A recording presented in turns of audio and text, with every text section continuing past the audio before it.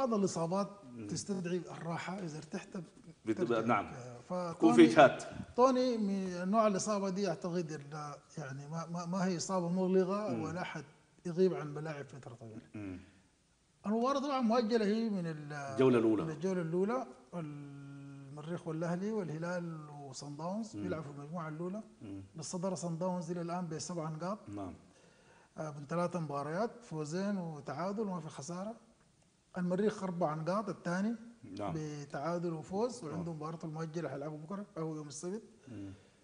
الهلال نقطة من ثلاث مباريات على أساس كده هو متزين. آه الأهلي نقطة من ثلاث مباريات من مباراتين، نعم. والأهلي الهلال نقطة من ثلاث مباريات عشان كده ترتيبه جاء طالما هو مستوى مع الأهلي في النقاط لكن الأهلي عنده عنده عنده مباراة دي نعم. مؤجلة طبعا المباراة دي بعد بعد نتيجة صن داونز والأهلي المباراة دي بالنسبة للأهلي ما بتقبل القسمة على اثنين. نعم. ابدا. آه. في حين إنه المريخ ممكن تقبل القسمة على اثنين على أقل شيء ممكن عنده. يعني عنده الأمل عنده آه، الأمل. التعادل ما عنده فيه مشكلة المريخ. نعم. التعادل ممتاز بالنسبة للمريخ. ممتاز جدا حاجة. نعم. عشان كده المر... المريخ حيجي لاعب ب 4 2 3 1 نعم.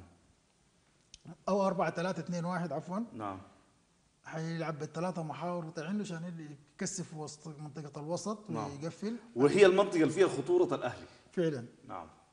أنا حيلعب آه، تيفور والرشيد و ضياء الدين ضياء الدين. كمحاور. قدامهم حيكون آه، توني. آه، توني و... والصماني صاو تقريبا. لا تو- توني وعجب. أنا عجب. أخت- اخترت إنه توني وعجب حيكونوا قدامهم. والمهاجم الوحيد حيكون محمود الضي